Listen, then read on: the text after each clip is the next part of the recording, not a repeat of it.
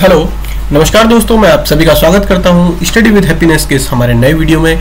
और जैसा कि अभी मैंने वेबसाइट पर एमटीएस के जॉब प्रोफ़ाइल के बारे में डाला था तो उसके बाद देखिए, जैसे हमारा किसी भी गवर्नमेंट जॉब का रिज़ल्ट आ जाता है, उसके बाद ज्वाइनिंग में कितनी फॉर्मेलिटी होती है, क्या कितना टाइम लगता है और क्या क्या प्रोसीजर है, आज उसके बारे में हम बात करने वाले हैं। ये एस एस के लिए भी एप्लीकेबल है एसएससी ग्रेजुएट लेवल के लिए भी एप्लीकेबल है और हमारा टेन प्लस टू के लिए भी एप्लीकेबल है। तो मैं आपको बता देता हूँ कि ज्वाइनिंग फॉर्मेलिटी आफ्टर रिज़ल्ट क्या क्या होती है। क्योंकि देखिए, जब भी रिज़ल्ट आ जाता है तो बस स्टूडेंट की यही उम्मीद होती है कि जल्दी से जल्दी उसकी ज्वाइनिंग हो। उसे लगता है कि अगर एक भी दिन उसका खाली जा रहा है तो उसका फाइनेंशियल लॉस हो रहा है और ये सोचना कहीं ना कहीं ठीक भी है, क्योंकि एक लंबे समय तक हम तैयारी करते हैं और उसके बाद भी फिर रिज़ल्ट आने के बाद जब सिलेक्शन हो जाता है, फिर ज्वाइनिंग नहीं होती तो फिर उसमें थोड़ा टाइम लगता है। तो हम देखते हैं कि क्या क्या प्रोसीजर है कि सबसे पहले होता क्या है? देखिए, जब भी रिज़ल्ट आ जाता है जैसे एसएससी ने आपका रिज़ल्ट आउट किया। एसएससी के रिज़ल्ट आउट होने के बाद जो आपका डोजियर होता है डोजियर आपका वहाँ पर तैयार किया जाता है। जब आप एसएससी के अंदर डॉक्यूमेंट वेरिफिकेशन कराने जाते हैं तो वहाँ पर आपका डोजियर तैयार किया जाता है जहाँ पर आपके सारे डॉक्यूमेंट्स की आपकी फोटोकॉपी होगी फोटोकॉपी का सेट होता है। और उसके बाद क्या किया जाता है जो जो भी आपका पेरेंट डिपार्टमेंट होगा यानी कि एसएससी ने तो आ, सभी सेंट्रल गवर्नमेंट के डिपार्टमेंट से कलेक्ट करके वैकेंसी दिखाई थी फिर वो पेरेंट डिपार्टमेंट को आपकी जो फ़ाइल है वो सेंड कर देगा। जो पेरेंट डिपार्टमेंट को कर देगा उसके बाद क्या होगा डिपार्टमेंट की जो वेबसाइट होगी वहाँ पर नॉमिनेशन लिस्ट आएगी कि बच्चों की लिस्ट डाली जाएगी कि ये लोग जो है सेलेक्ट हो गए हैं और इनका ये प्रोसीजर है ठीक है? उसके बाद क्या होगा हो सकता है कि जैसे मान लीजिए अगर मिनिस्ट्री पे है तो, तो स्टेट प्रेफरेंस नहीं भरवाई जाएगी। मगर अगर ऐसा कोई विभाग है जैसे मान लीजिए टेन प्लस टू में पोस्टल डिपार्टमेंट में आपका सिलेक्शन होता है तो पोस्ट ऑफ़िस ने इस बार भी जो हमारा 2015 वाला सी की पोस्टिंग हुई है उसमें उन्होंने स्टेट प्रेफरेंस मांगी थी। स्टेट प्रेफरेंस आपको ऑनलाइन या ऑफलाइन माध्यम से आपके पास डॉक्यूमेंट पहुंचेगा। आप उसे स्टेट प्रेफरेंस भर सकते हैं। उसमें स्टेट प्रेफरेंस देते हुए आपको बहुत ही सावधानी से देना है। तो अब इसके बाद क्या हुआ था? जैसे कि पोस्टर वाले का मैं आपको एग्जांपल नहीं बताता हूँ। पहले स्टेट प्रेफरेंस में आपको स्टेट मिल गया। मान लीजिए आपको यूपी मिल गया। यूपी मिलने के बाद फिर उन्होंने यूपी के जितने डिस्ट्रिक्ट है, जहाँ जहाँ पर उनके ऑफ़िस है, उन्होंने बाद में डिस्ट्रिक्ट की भी प्रेफरेंस मांग ली थी। पहले आपको रैंक के अकॉर्डिंग आपको, आपका स्टेट लोकेट हुआ। उसके बाद आपको डिस्ट्रिक्ट लोकेट हुआ। यानी कि ये प्योरली मेरिट बेस्ड है। ऐसा नहीं है कि किसी की जान पहचान है, उसका पहले हो जाएगा। यहाँ पर आपके जो आपकी मेरिट है कट ऑफ़ है, वो डिसाइड करती है कि आपको आपका होम टाउन मिलेगा या नहीं मिलेगा। तो इसलिए जो आपके नंबर है, वो बिल्कुल आखिरी तक। जहाँ तक कि मैं आपको बताऊँगा, आपका प्रमोशन लिस्ट में भी, आपकी सीनियरिटी लिस्ट में भी आपकी जो ये मार्किंग है, ये बहुत ज़बरदस्त रोल निभाती है, बिल्कुल आपके रिटायरमेंट तक। ठीक है? तो इसलिए एग्ज़ाम की जब भी तैयारी करें, अच्छे से अच्छे नंबर लाने की कोशिश करें, ताकि सेलेक्ट होने के बाद भी जब प्रमोशन लिस्ट में आपका नाम आए तो उसमें भी आप सबसे ऊपर नज़र आए ठीक है? तो स्टेट प्रीफरेंस के बाद आपको हो सकता है डिस्ट्रिक्ट प्रीफरेंस भी मांगी जाए। देखिए, जब इतना काम हो जाता है तो डिपार्टमेंट जो है आपको एक अटेस्टेशन फॉर्म भेजता है। इसमें दो या तीन सेट होते हैं।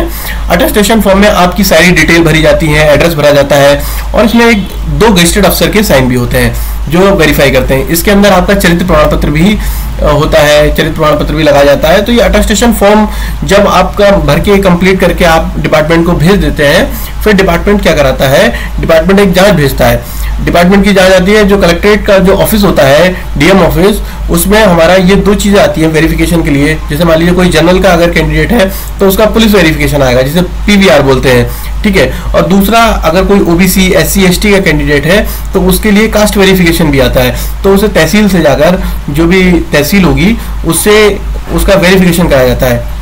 और इस चीज़ का ध्यान रखिए, जैसे कि ओबीसी है ओबीसी के अंदर क्रीमी लेयर होते हैं तो इनका हर साल हमारा कास्ट सर्टिफिकेट बनता है तो उसे अपना नए वाले फॉर्मेट में ही बनवाएँ। और जो एस सी है, वो हर डिपार्टमेंट अपना भी एक परफॉर्मा भेजता है। तो मतलब जो आपका पुराना वाला कास्ट सर्टिफिकेट है, उसी को दिखाकर वो मतलब नया कास्ट सर्टिफिकेट नहीं बनना नए फॉर्मेट में बन जाता है। तो इसमें भी आप अपने डॉक्यूमेंट्स तैयार रखें, क्योंकि एस एस या जितने भी जिनकी ज्वाइनिंग अभी पेंडिंग है, उनमें इन सब की ज़रूरत पड़ेगी। ठीक है, पुलिस वेरिफिकेशन होता है। तो ऐसे में करना क्या है? देखिए, ये कार्यवाही तो होती रहती है। जब आपका अटेस्टेशन फॉर्म आ गया तो आपको करना क्या है? जैसे कि मान लीजिए, जो लोग अपने घर पर हैं, जैसे कि मान लीजिए, उनका अभी करंटली जॉब में नहीं है तो ऐसे लोग चाहते हैं कि जल्दी से जल्दी पहुँचे जॉब में। तो करना क्या है, इनके ऑफ़िस में जाकर हमें थोड़ा सा परसू करते रहना है कि देखिए भाई, हमारा डॉक्यूमेंट वेरिफिकेशन तो नहीं आया मतलब पुलिस वेरिफिकेशन तो नहीं आया। आप जाएँगे तो हो सकता है जो काम पाँच दिन में होने वाला हो, वो आपका दो दिन में हो जाए, है ना? वैसे तो सरकारी काम होता ही है अपनी स्पीड से, मगर आप थोड़ा वहाँ पर जाकर जाँच पड़ताल कर लेंगे तो थोड़ा सा जल्दी हो सकता है। उसी तरीके से कास्ट वेरिफिकेशन का ये सारी चीज़ें कर ले। पुलिस वेरिफिकेशन के साथ एक जो वेरिफिकेशन होता है वो लोकल इंटेलिजेंस का भी होता है एलआईयू का भी होता है। तो लोकल इंटेलिजेंस मतलब वो पुलिस के ये आपको इसमें कुछ नहीं करना है। यहाँ पर आप जो है या तो पुलिस या एस आई आपकी पोस्ट पे डिपेंड करेगा कि आप अगर बड़ी पोस्ट पे सेलेक्ट होते हैं जैसे कि सी में होते हैं। सी में ए, होते हैं या फिर एक्सटर्नल अफेयर में होते हैं तो इसमें एक्सटर्नल अफेयर में आपकी आईडी की भी जाँच कराई जाती है।